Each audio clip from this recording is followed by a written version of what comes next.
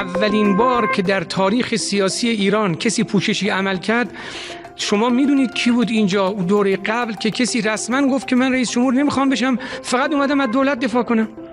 این در تاریخ سیاسی ایران بنیاد چو دوستان شما گذاشتن چرا این کار کردید؟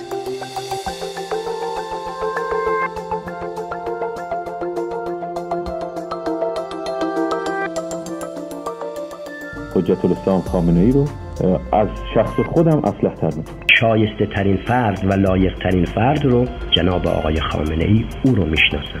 حضرت حجت الاسلام سید علی خامنه ای و من مطمئن هستم که صالح ترین فرد برای این ریاست جمهوری